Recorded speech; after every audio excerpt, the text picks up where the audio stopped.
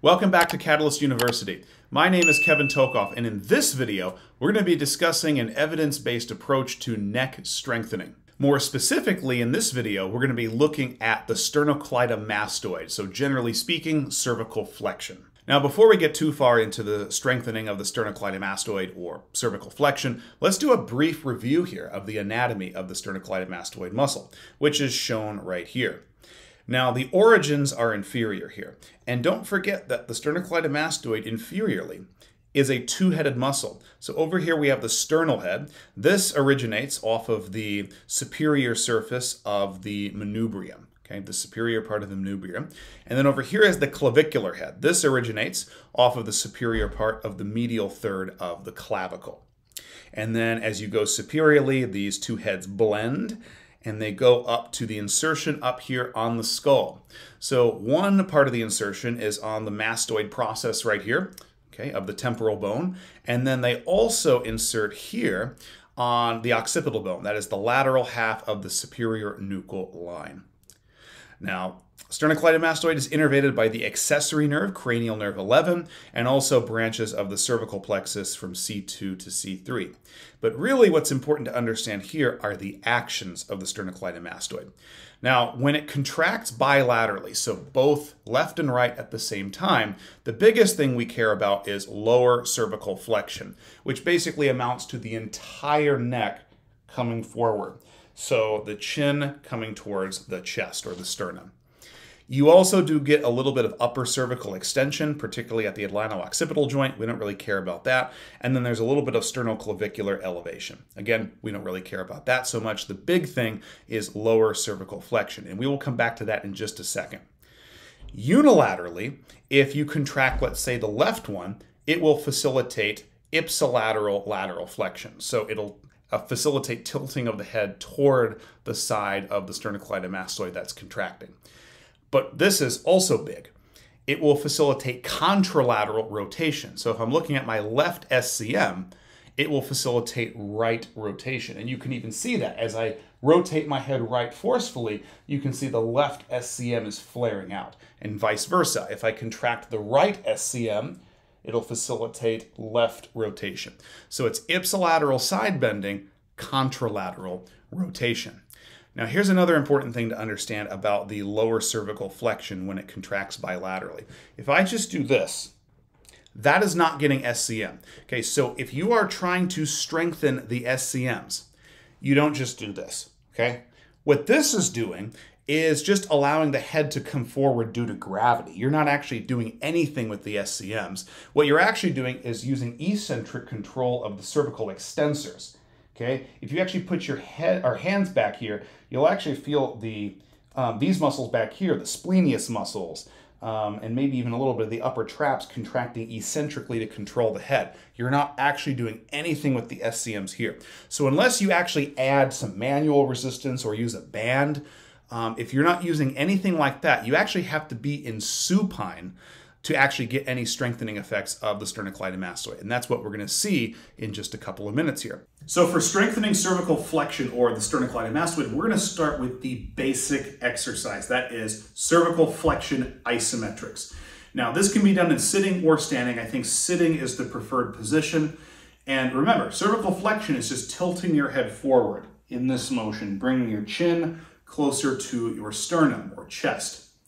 So if I'm going to do that isometrically, I'm going to stick both my hands up on my forehead, and I'm just going to resist that movement manually, completely balance it.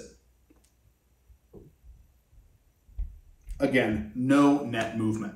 That's the most basic cervical flexion isometric exercise. But there's other ways that you can do this. One way is by biasing the left versus the right sternocleidomastoid. The way I would do that is remembering that the sternocleidomastoid, when contracted unilaterally, gives you contralateral rotation. So if I want to bias the left one, I'm going to rotate my neck to the right and perform the isometric there. And by the way, this isometric force is flexion, so tilting down, we're just doing it in a rotated position to get this left one. If I want to do the right one, I'm going to go and rotate my neck left and isometrically resist flexion. So that's how you can bias one or the other.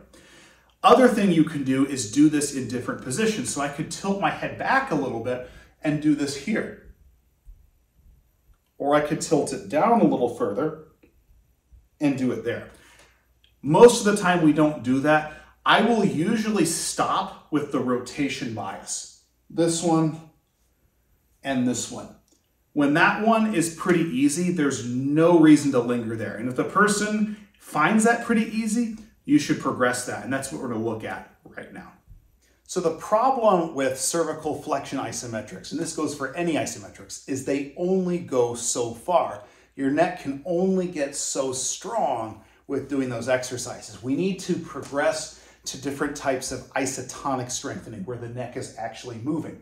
One of the best ways to do that with the sternocleidomastoids or cervical flexion is to actually go through that movement. Now, you do not have to start here in an extended position, but the basic idea here is you're gonna just do a neck sit-up. Feel those two muscles working on the front, lower down with control. Some people would call that a neck sit-up, sometimes it's a neck crunch. But the idea here is we're just contracting both sternocleidomastoids bilaterally. You can, of course, add in some rotation there. So as I'm coming up, maybe I want to get the left one, so I'm going to add in some right rotation. I can also bias the right one by getting some left rotation.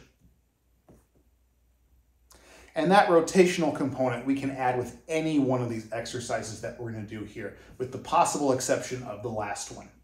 Now from here, I can start adding manual resistance once this gets a little bit easier.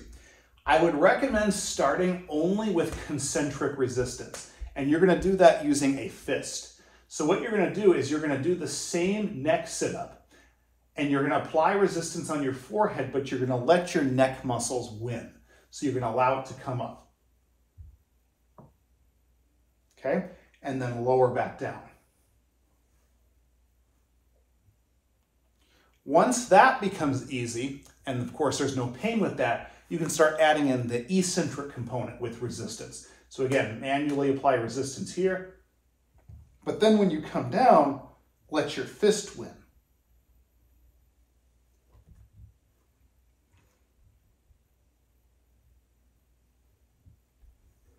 Because eccentric exercises are often associated with delayed onset muscle soreness, don't be surprised if the next morning or, the, or later in that day, you have some muscle soreness in the sternocleidomastoids. You can also add some resistance in the form of a weight. You can use a plate like this or a dumbbell. I prefer plates because the hole in the plate you can kind of stick right on your forehead and you're using your hands here to hold it in place, but you're not allowing your hands to assist with the movement because we want to put all of that in those sternocleidomastoids. So again, let this come back with control and then use your neck muscles to bring that up.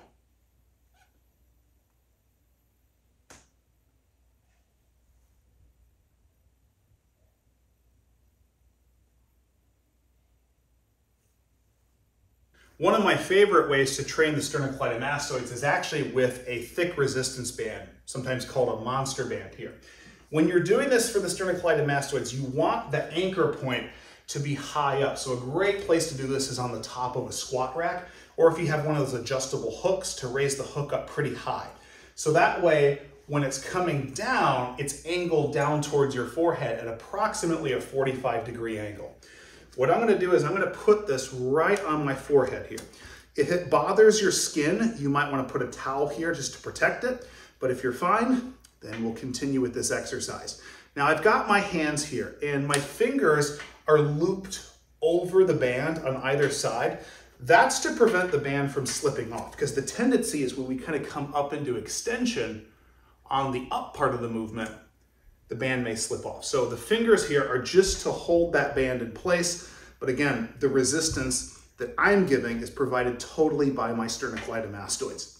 So I'm getting into a staggered stance here. You may not be able to see it, but my right foot is about two feet in front of my left. Again, that's just for balance here. And then what I'm gonna do is let this come up a little bit with control, crunch down, feel those SCMs contract.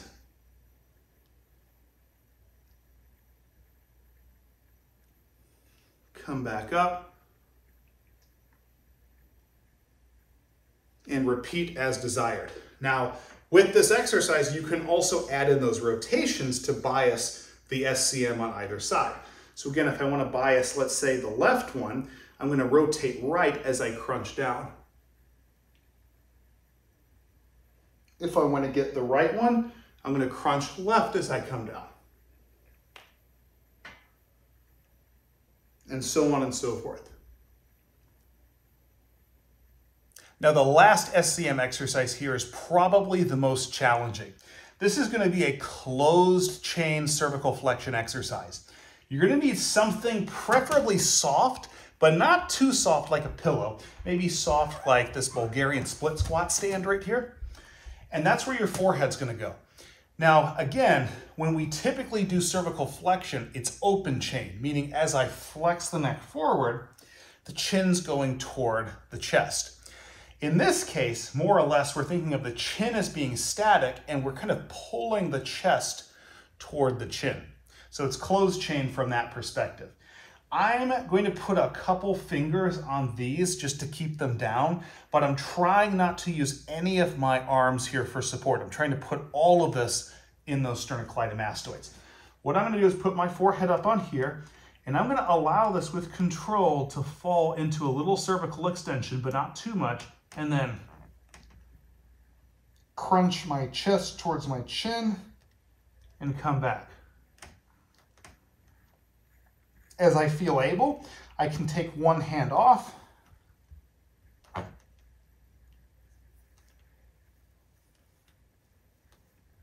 And then if I really want to get fancy, I can take both hands off.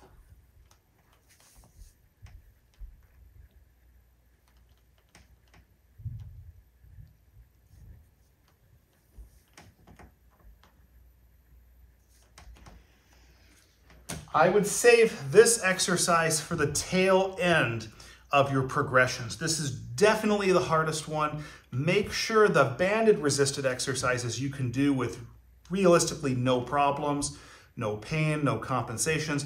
Once those are okay, then you're probably good to try this, but definitely don't start with this one. In fact, I would actually make an argument that the progressions I've shown in this video are probably the most logical order to do them in. So, hopefully this video gave you a good understanding about how to strengthen cervical flexion or the sternocleidomastoids. Join us in the next video when we take a look at cervical side bending. After that, we're going to look at cervical extension and then finally cervical rotation. And also keep a watch out for the video where we talk about strengthening the deep neck flexors or cervical retractors. Please make sure to like this video, subscribe to my channel, and hit that notification button for notifications for all videos in the future. Thank you so much.